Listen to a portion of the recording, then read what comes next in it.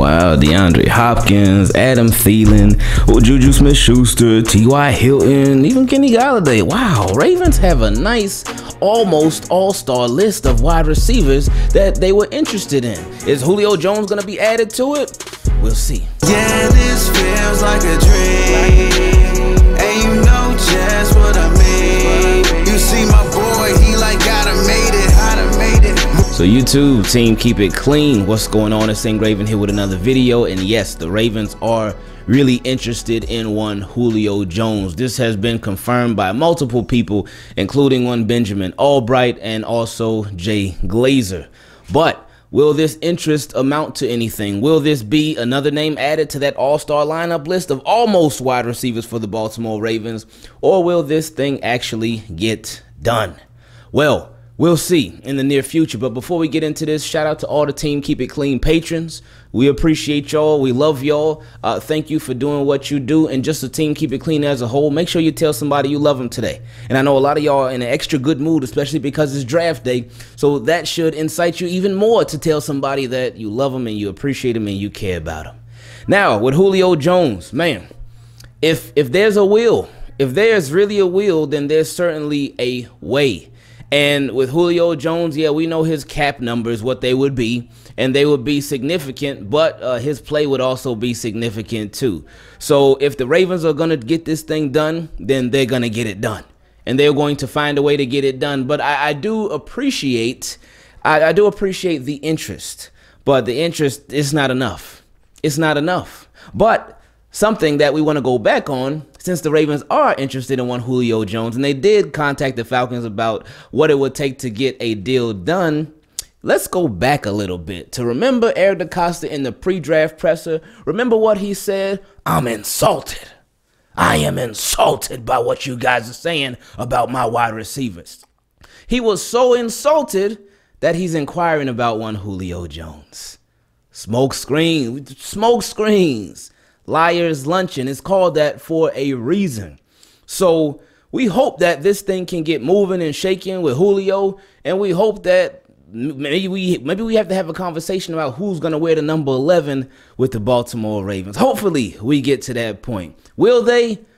I'm not getting my hopes up. I know a lot of y'all not getting your hopes up either. So we just got to be patient with it. And again, something to remember that with the Falcons, it's going to be a post June 1st trade. Whenever whatever they do with Julio is going to be post June 1st. So in the trade there would be no draft picks from this year to be included in that. None. Zero. Now, one thing that I've been seeing floating around that just boggles my brain and I just like, what? Do I need to like what's going on? I saw some people put, "Oh, would would you trade Marlon Humphrey for Julio Jones?" Would would you what? Have y'all been hanging out with Bucky Brooks or something? Would you trade Marlon Humphrey for Julio? J- what? Come on now, man. Like let, let let's let's be real about this thing, man. Marlon Humphrey. Oh goodness. Internet is crazy. The internet is crazy. Like I, I've seen some crazy stuff, but recently that was like, whoa, hold up now. But anyway, we just got to be patient with this whole Julio thing and see exactly where it takes us. Now, you know what? With this being the last video before the live stream for the draft tonight, and y'all make sure y'all come through. Team Keep It Clean. We're going to have a lot of fun like we do every year for the first round of the draft. But while I have you here, you know, let's just go ahead and do some questions from subscribers. Might as well, right? Let's get into it. And what questions from subscribers is, this is a series where you can ask me any question you want to based off of any NFL team, and we answer it in a video just like this. If you want to be part of question from subscribers, you can send me an email to teamkeepitclean at gmail.com, or for the patrons, you can send it directly on Patreon. Team Keep It Clean, I love y'all. I appreciate y'all. And while we're here, let's get into some questions. Speaking of Julio Jones, first question came from my boy Tom R. He said, Hey, Ingraven, I hope you and the family are doing well. Been watching for a long time. First time asking a question. First off, I want to thank you for all the positivity and light you bring to the Ravens flock and the YouTube community. I feel like good sportsmanship and treating everyone with respect is something frequently overlooked in a lot of sports media and definitely forgotten in most NFL stadiums. Oh, man, yeah, yeah that's a big yikes there. Uh, I truly feel like the importance of what you have created with Team Keep It Clean with the message cannot be understated. It's a message that more people, and especially youth in the sports world, need to hear. I wish you the utmost success in any of your projects and endeavors, and I hope uh, as you reach, uh, as your reach grows, that more people will take a page out of your book and live life spreading more positivity. Oh wow, Tom, I, I appreciate that a lot, man. Thank you. He said, with that bit, bit out of the way, uh, on to my question. I have heard that due to a cap issue, the Falcons will not trade Julio Jones before the draft. That being said, they could very well be looking to make a trade for a difference making defensive player. How would you feel if the Falcons were asking for one of our top notch cornerbacks, say Marlon Humphrey or Marcus Peters? Oh, I think we expressed that early on in the video. No, nope, nope, and no. Uh, if that's the scenario, do you think we could possibly find replacements in the draft if we lose one of our veterans for Julio Jones? Um, yes, because that's what it's about. And Ravens, if Ravens know how to draft one and develop one thing, is definitely cornerbacks and secondary.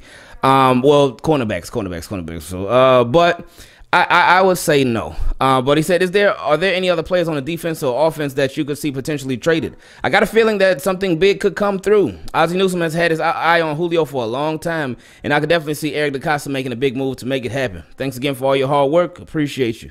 Now I appreciate you and thank you for that, man. Um, but I just ah no, I no, no. I would say just draft picks.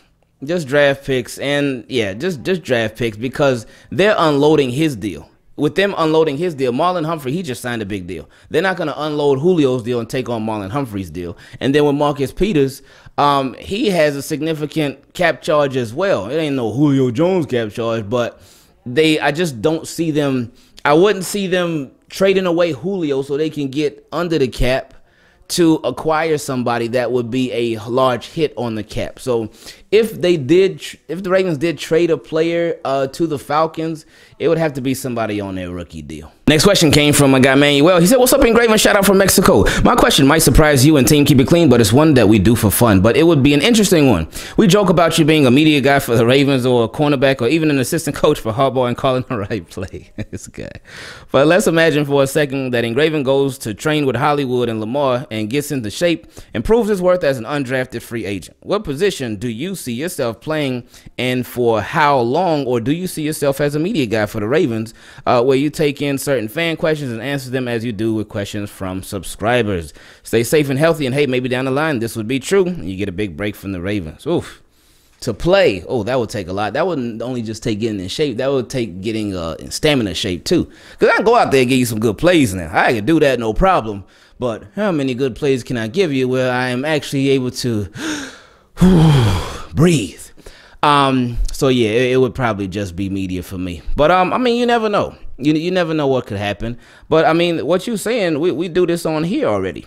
So with the Ravens, I mean, you you never know. You you just you never know where life can take you. You never know what opportunities can come about. So uh, we'll just see as things go along. Next question came from my boy Dino G. He said, "What are doing, Graven? It's been a long time since I sent a question. Hopefully this gets out before Thursday. Uh, about five minutes ago, I saw the NFL post the linebacker draft class highlights on Instagram, and I was wondering, what if the Ravens go defense heavy first round? How would you feel? And do you think it's possible if the Ravens use their first round draft pick on Gregory Rousseau or Azeez Ojulari? I, I do think that's a high possibility. Either one especially uh, Greg Rousseau. He's, he's, from Miami, and these are the Florida Ravens. So anyway, uh, I don't know if that's possible, but if so, OMG. Then address other needs through the draft, but secure that bag at pass rusher with younger, faster, versatile players. Or do you think the Ravens will go wide receiver O line or wide receiver DN? Just some pre-draft questions. And who do you think the Ravens will draft that wide receiver who fits into this style of offense? Hope the family as well, uh, and keep it up. And just like Orlando Brown is with the Ravens at left tackle and right tackle, I'm out. it's good, man. um, I think uh, for wide receiver, I think tonight could tell the story, and definitely early tomorrow. But tonight could tell the story on how interested or, or how deep they are in talks with the Atlanta Falcons if they don't take a wide receiver between tonight and tomorrow morning. I think that'll that'll let us know. That'll give us a little reminder. Um, but they could really go anywhere. They, they could literally go anywhere in the first round tonight. They could take two people. They could take one person and trade back. They could trade back both picks. They could do so many different things. They could trade up. They, they have options on what they can do. Uh, so nothing is set in stone, and there's no one direction where you could also, uh, I mean, absolutely see the Ravens heading because is everything is open. Everything's a possibility, especially since they not only have one but two first round draft picks. So I could see all of these things really happen. Next question came from my boy Javo. He said, Draft day is tomorrow, and I have a prospect for you to look up and give me your thoughts on. His name is Pat Freiermuth. He's a tight end from Penn State. He's big and physical and is compared to Gronk. How do you feel about us drafting him in the later rounds? Well, if that's the case and he is all of those things, I'm with it. I'm with it because he would add some some competition to that tight end room. Right now, we got the Josh Oliver, who we traded from from the Jacksonville Jaguars with that conditional pick. Uh, we got um, Eric Tomlinson. We got Jacob Breeland. We got Wolf. So we got some guys that uh, it's a lot of question marks after Mark Andrews and Nick Boyle.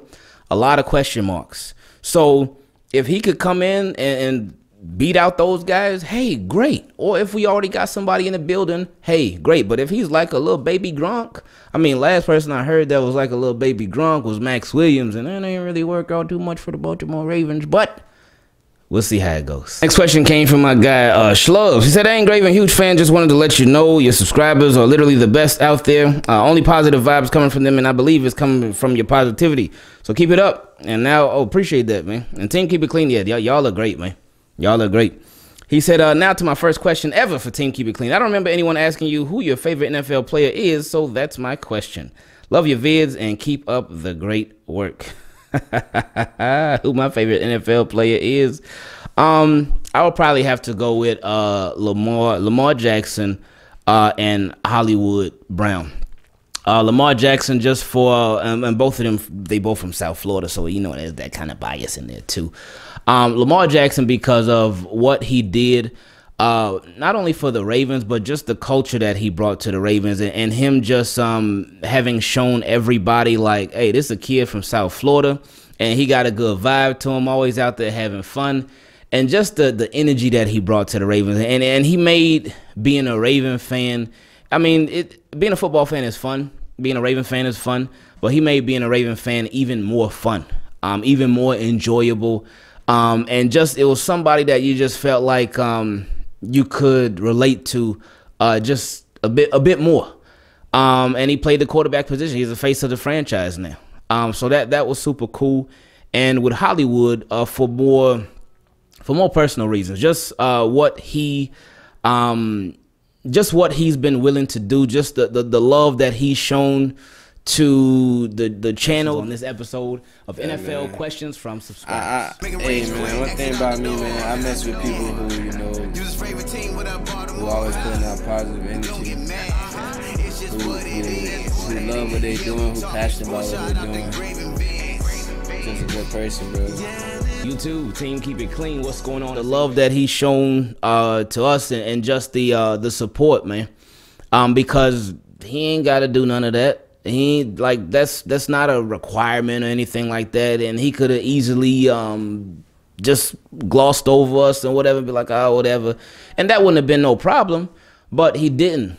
And, and for him to even take time like out of his day to uh to to show support when he doesn't have to and when we don't ask for it either uh that that means a lot to me. So um yeah probably had to be lamar in hollywood man Next question came from my guy Eddie A. He said, Hey, Ingraven, hope you and the fam are doing well. Oh, we're doing really good. Appreciate you.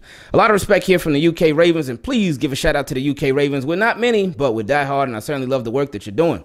Hey, shout out to the UK Ravens. He said, You mentioned a couple weeks ago in one of your videos about the cap being capped, and I paused and I thought about how teams like Kansas City and Tampa could keep keep talent stacking, and they pretty much kept all of their starters on offense and defense, and it definitely had me thinking, why not us? It dawned on me how, bear with me here, the other day that the reason the teams are able to do this is because they sign players on long term contracts.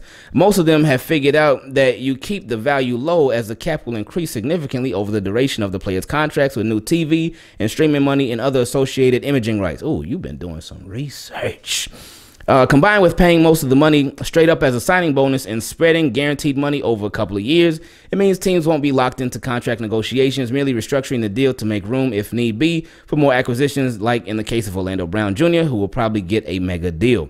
So the player will never never actually be paid the current market value each year. They'll be paid at the point of signing, and this actually is team friendly because you lock your assets down for a long term uh, which then you can move around. Although, admittedly, the players would need to agree. But with that, we've seen with Calais Campbell, Brandon Williams, they are more happy to do that if there's promise of success. So, I suppose my question to you is Do you see the Ravens adopting this approach, especially after they sign Lamar? Because it's not practical uh, to have a rebuild every five years. Whew, that is a great question. Um, I, I, I, I don't. I hope that they can figure out something, and I'm sure they will. Where they, where they can still sign Lamar to his deal, but then still sign significant players as well. Um, but I just as of right now, I don't see it happening um, because it's like Lamar's not he he's still on his rookie contract right now, and they haven't done any of that. And I mean, I know that this year was the first year that the cap ended up going down, um, but still, like Lamar's still on his rookie contract, and they didn't do it now. But like Patrick Mahomes, he's certainly not on his rookie contract and they're doing it over there. Well, he's still no his his rookie contract is still counting on the cap as a rookie contract. His it hasn't escalated yet to the extension, but mm, yeah, I just I don't I don't I don't see them.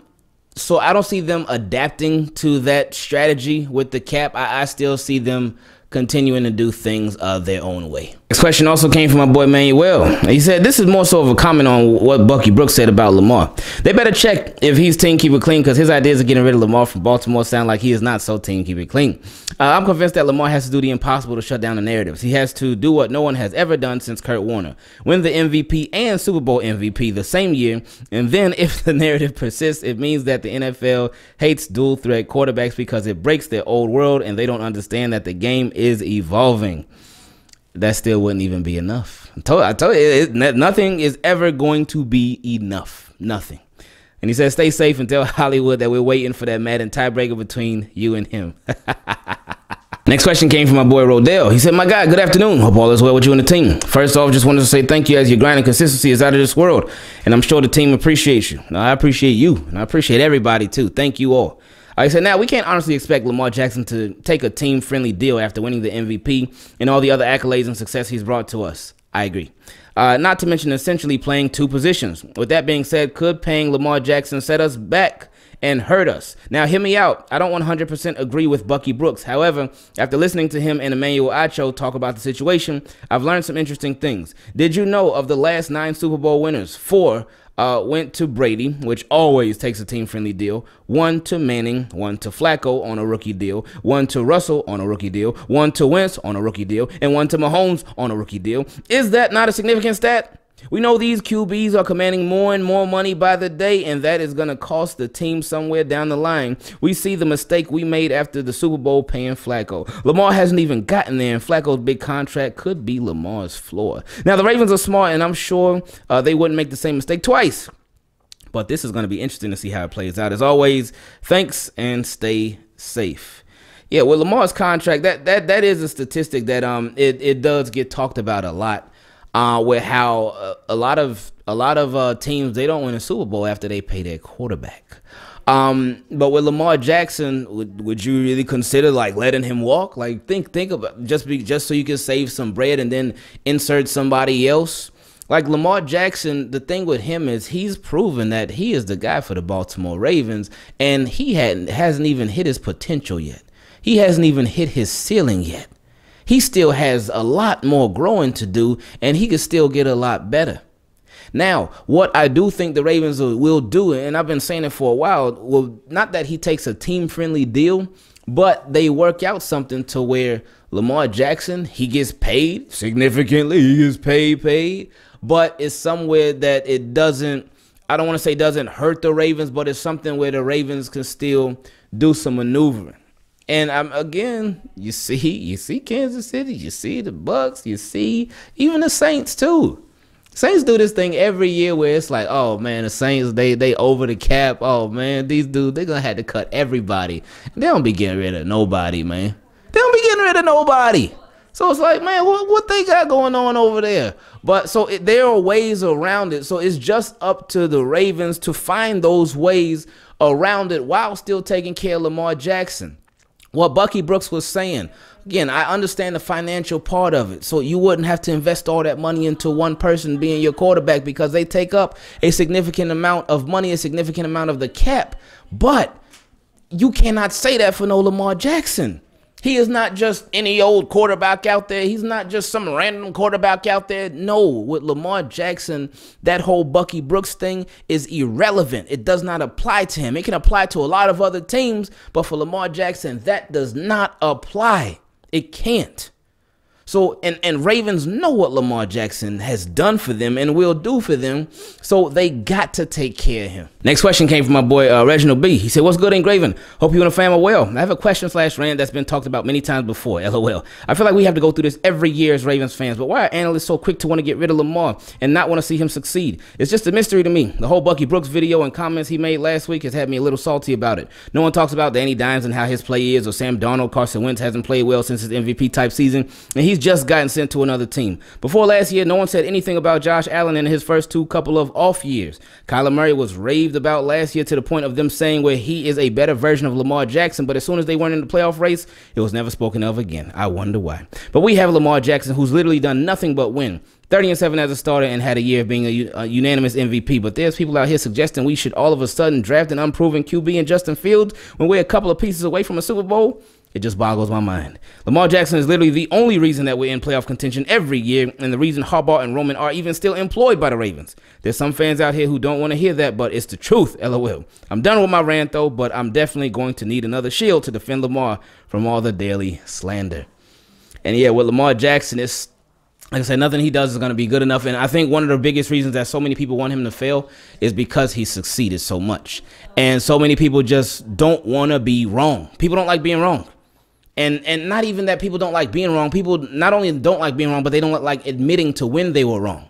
And some people just they waiting to be right. That's why every time that lamar uh, fails at something every time that he ends up coming up short in something people like ah see i told you so. See i knew it. See i knew he get, couldn't get it done. But when lamar's out here doing his thing they quiet. You don't hear a peep from him. Or sometimes you do hear peep from him because they'll be like, oh, well, he didn't do this good. Well, oh, well, he needs to do this better. Oh, well, and I'm not saying that Lamar is uh is he's over or above criticism. Nah, I'm not saying that at all. But watch how people criticize him. Watch how they do it and listen to how they do it. You can always tell when with people with some some players and whatnot, they'll give them excuses all day. They be oh no, that's fine, ain't no big deal. Oh no, that's cool. But with Lamar, they'd be like, no, not good enough. That needs to get no, no, that's not mm, mm, no. Uh, every time, just watch out for it. Last questions came from my guy Rainmaker. He said, "Morning, hope all is well with you and yours. Uh, do you think the Ravens trade back with that 31st pick? Probably look to pick up two high second rounders and maybe another fourth or fifth to acquire more picks in a deep draft. Yeah, because you know Ravens love them picks, so I can see that happening all day.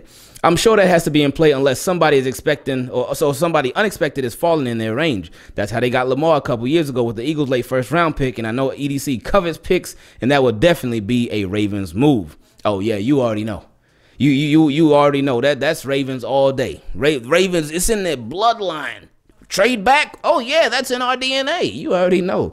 And he also said, uh, just a hypothetical here, but can you imagine Julio Jones on this team with Lamar, Sammy, Hollywood, Manjus on paper that would literally take our pass catchers from the bottom of the pack to top 10? That's the Kansas City style of offense that would make us serious threats for the Super Bowl. Plus, have have Juju a little jealous in the process. I think it's a pipe dream, but maybe you can speak it into existence. Anyway, keep up with the great work, and I'll be listening on draft day to get your thoughts on what our team is doing. And yes, tonight, man. So shout out to those of y'all that made it through this video. I appreciate y'all. I love y'all. And uh, yeah, tonight is the night. So we're gonna have some fun. Um, yeah, the next time I see y'all, it'll be for the live stream. So I can't wait for it. Uh, I'm looking forward to it. Y'all make sure y'all come through. Uh, and we're gonna have a good time. Team, keep it clean. Appreciate y'all. Love y'all. We out.